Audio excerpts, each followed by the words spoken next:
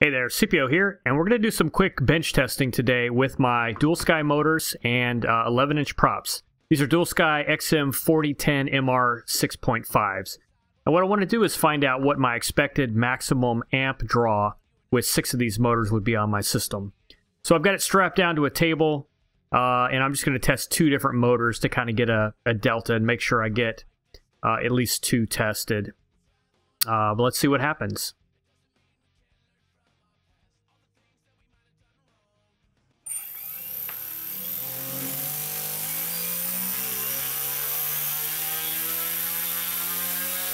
So I should note that uh, both of these tests, I'm doing two different uh, tests, two different motors.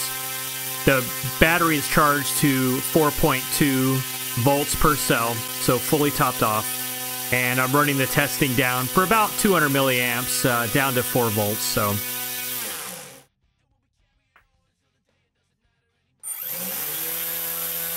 throttle.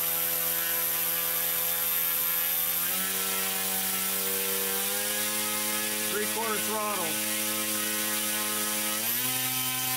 Full throttle.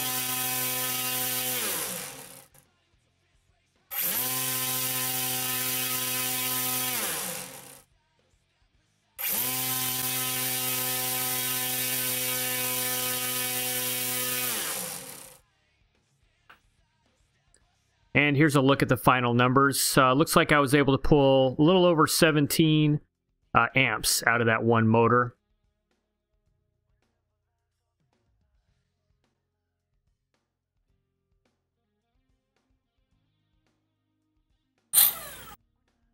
All right, so here's another motor. Let's see what it does.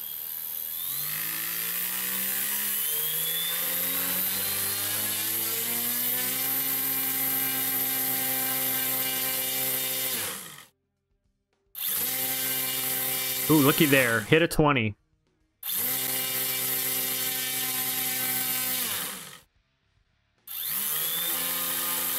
Fifty percent.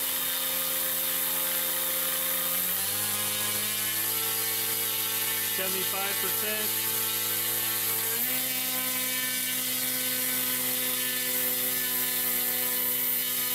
Hundred percent.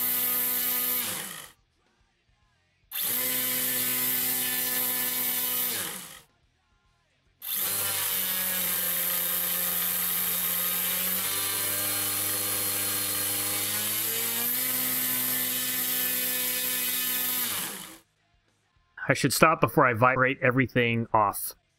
Uh, look at this. So uh, I pulled a little over 20 amps out of that, 300 watts. So uh, that's my worst case scenario. So what does this mean? Well, it means I need to plan for at least 20 amps max per motor.